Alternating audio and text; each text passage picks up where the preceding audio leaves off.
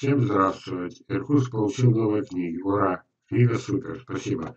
А, объясняю. Марина Кудина – одна из своих самых верных сторонниц, помощниц, учениц, невероятный человек. Знаете, я, ну, наше время позволяет, мы сейчас закончили разговор, да? Это она мне прислала съемку фильма. Была региональная конференция садоводов. Выступал директор, э, примерное название, примерная должность, э, директор э, Иркутского ботанического сада, ученый, да. И, кажется, сама Марина Кудина задала вопрос. Вот, вспоминай, Марина, вы прислали мне фильм. Что там было в фильме сказано? Вы встаете из зала и говорите, уважаемый директор, как вы относитесь к вегетативной гравитации Железова? Ответ директора. Не задумываясь, научное сообщество не поддерживает. Поняли, да? То есть не видим, не слышим и видеть не хотим. Так, теперь вы, Марина, в данный момент похвалили книгу. Я так понял, что вы заказали, наверное, циркаром по, по привычке сразу целую кучу книг. Выписали напрямую, наверное, у нашего друга, у Павла Троценко. Так, наверное, вы попали в число тех, кто высылал деньги на публикацию книг. То есть, когда пошел сбор и получили книгу, прочли и написали книга супер. Пользуясь случаем, еще раз, вот она. Вот она. Вот. И как бы мало нас не было, видите, участников 33. Пройдет время, будет 330, но не больше. Но благодаря вам эта книга родилась. Вы догадались почему? Просто надо было взять, сжать до самых этих, чтобы ни одного лишнего слова не было. Вот. И это практически уже не садоводство э, для избранной судьбы. Это и есть настоящая энциклопедия. Не та энциклопедия, когда надерганы отовсюду подлые предательские советы, которые калечат деревья и, и, и сокращают им жизнь.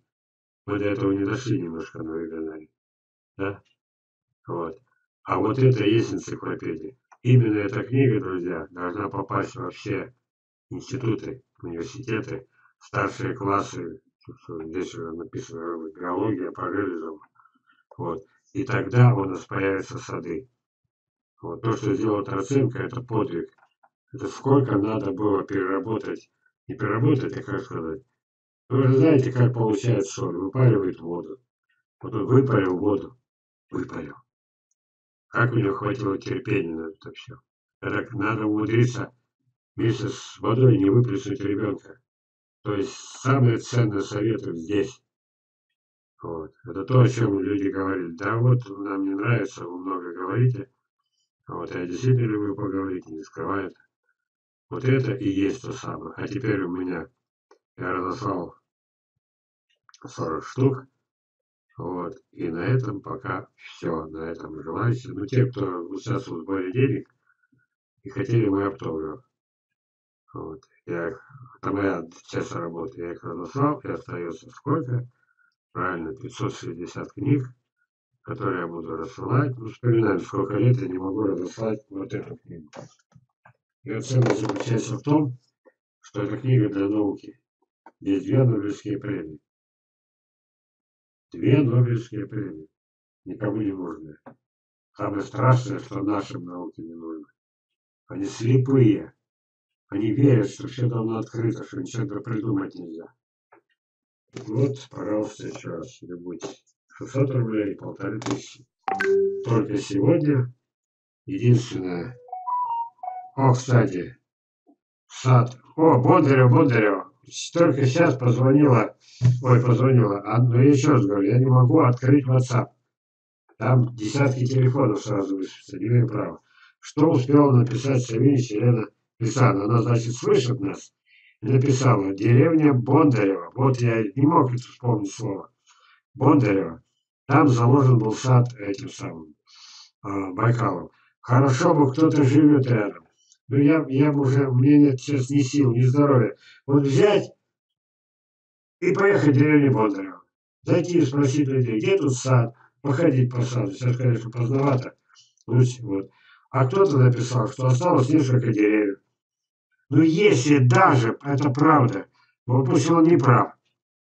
Причем он назвал даже не Бондаря, это говорил, а сказал, в нескольких километрах а, вот она пишет. Бондарева сама не была, рассказывали, а в Баграде была. Ну еще раз, я не могу открыть. Давайте я скопирую, на следующем вебинаре расскажу.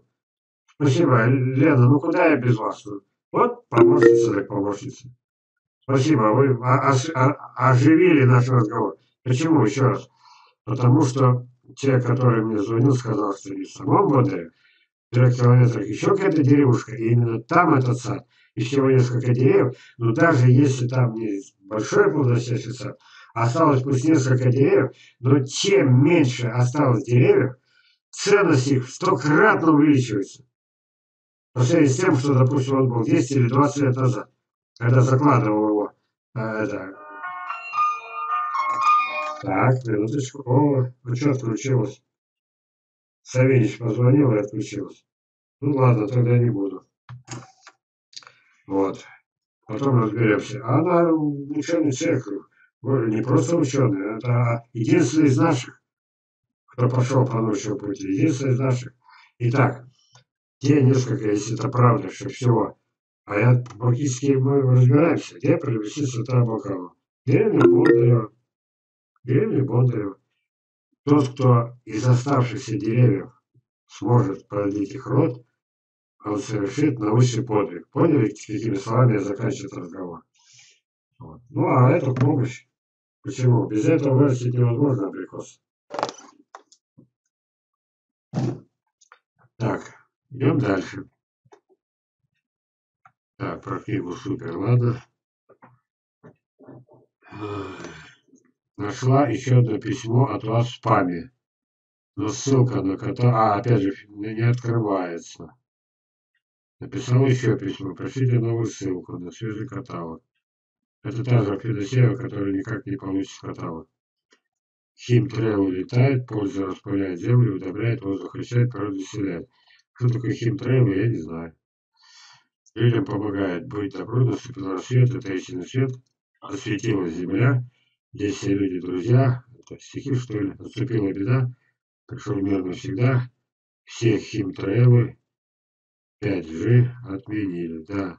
О да, нет пожаров и волн. Что цунами зовут? Нет, Коу, безусловно, радость и труд.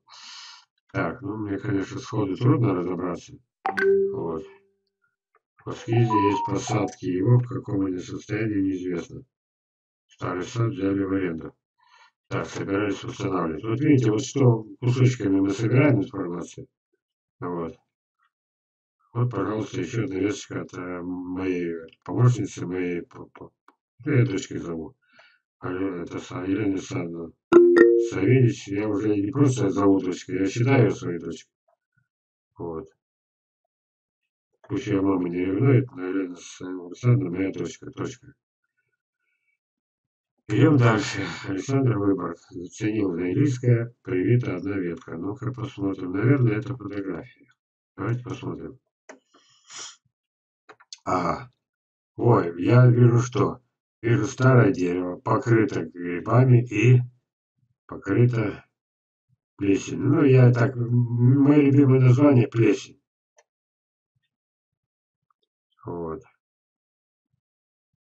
И вдруг она дала веточку. Вот это плодовая веточка. Она, конечно, другой бы я просто отрезал бы. Помните, я показывал, как плодовые ветки отрезала со стервенением это фея. Вот. А она взяла и привил. Получились эти самые урожай заилийского. Поздравляю, поздравляю. Возвращаемся в наш вебинар. Так, Александр вы волшебник, все скажу. Так, Федосеева. Извините, я не компьютерщик, какой-то фрагмент стекло. А, так это не вы. Ой, это, это интересно. А я думаю, что это какой-то полузашифрованный. Пользу распыляет, землю удобряет, воздух очищает, природу исцеляет.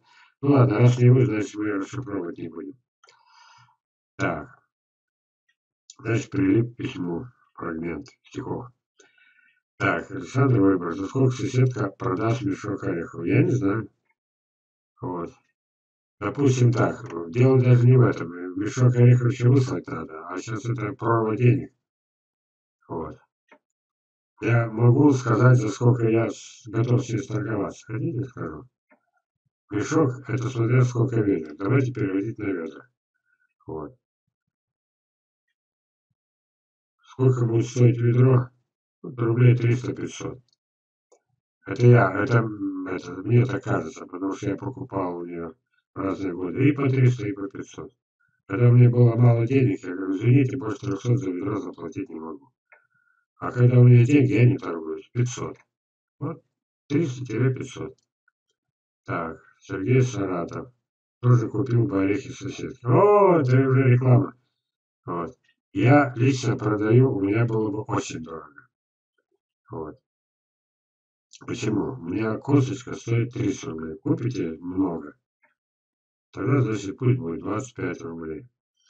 Вот. А учитывая, что еще и дорого пересылка стоит, а и соседку, она хвасталась, что они потом всю зиму колят и едят. И, конечно, есть довольно муторно. Я в день съедаю 5-6 только раскалываю, больше на терпения не хватает. Так, Федосея, благодарю за ссылку, но есть особенные косточки, и мне нужны... А ну что за ссылка-то? Нужны и рекомендации автора по моим целям. Так, это вот, знаете, даже не могу понять. Во-первых, какую ссылку, если я пишу, что я ничего не высылал. Что такое особенные косточки? Если, допустим, брать, я никогда, у меня все честно, принципиально и прозрачно. Если черемушка, где климат уникально теплый, если там пожили, пусть мои, пусть Филиппева, абрикосы, потеряли они морозостойкость или нет, не знаю. Вот. Но подвои были мои. И у него тоже подвоенная русская абрикос. То есть получается, что, наверное, высокой стажа. Вот. Если мы будем говорить, а, а, ну, может быть, вы не про эти говорите, не про э, косточки пианиста, не знаю. Так, нужны рекомендации автора по моим целям. Совершенно непонятно, автор это я или не я. Вот. И по моим целям. Какие цели? Это будет, ну, смотрите, начнем с каталога, Татьяна. Дойдет до вас каталог, я надеюсь, дойдет. Вот в этот раз, раз письмо ваше дошло. Вы его разберете по косточкам. Вот. Внимание, отвлекаюсь. Ой, не смог прочитать. Давайте я всю переписку с Еленой Александровной Савинич, со своей дочкой, ученицей и ученым человеком по совместительству. На следующем вебинаре все скопирую, все расскажу. Так, продолжаем. Итак, значит, Получается, что с Татьяной Федосеевой мы разберемся, когда вы захотите, э, когда вы захотите сами э, объяснить мне, что имеется в виду.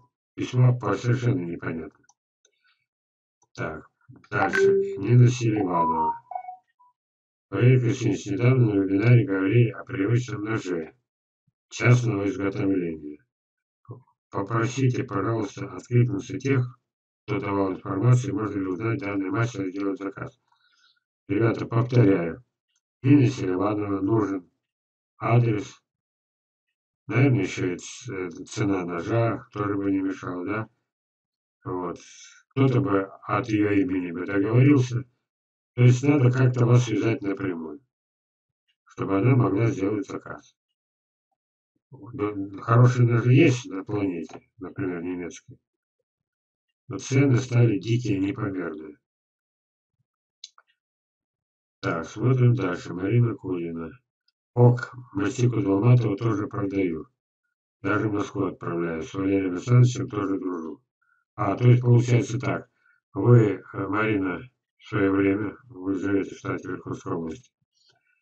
Вот. Вы все время, видимо, так же, как мои книги брали целыми этими, как это назвать, целыми коробками, да? Вот.